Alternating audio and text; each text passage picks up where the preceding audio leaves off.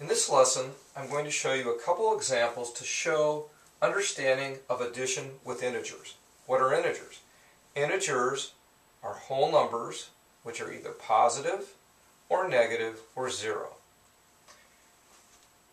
What we're going to try to figure out is what distance is caused when we add integers.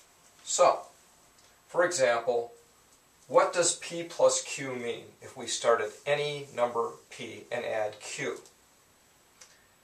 How far is p plus q from p? So we're going to use two examples. Our first example is negative 4 plus 2. Now negative 4 is a number 4 units to the left of 0.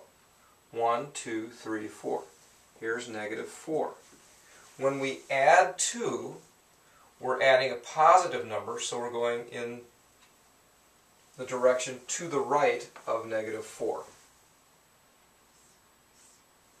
And that number, or that sum, is negative 2. How far is the distance between negative 4 and negative 2? Well, that's easy to see. It's 2 units or what we added to negative 4.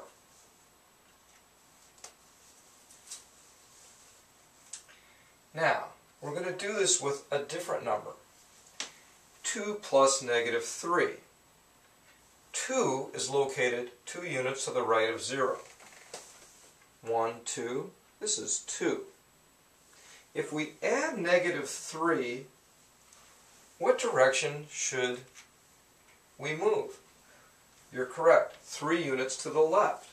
One, two, three. So the sum of 2 plus negative 3 is right here, which is negative 1. We moved one, two, three units to the left. How far is negative 1 from 2?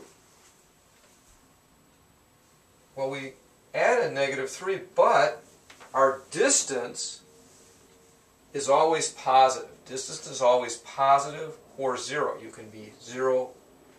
I'm here. How far am I from myself? I'm 0 units.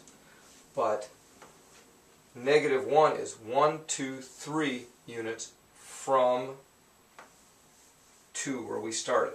So, the distance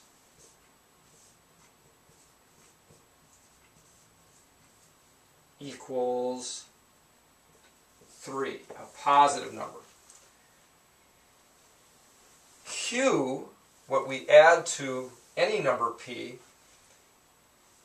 is the distance that we added.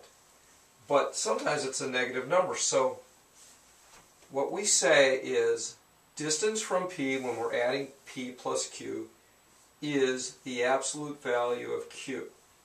The absolute value of q is always a positive number or 0.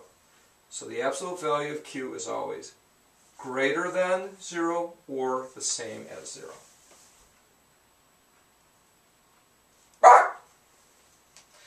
Now, here's something that you probably don't know. There are some people who have fears of chickens. As nice as we are, look at me. Why would you be afraid of me?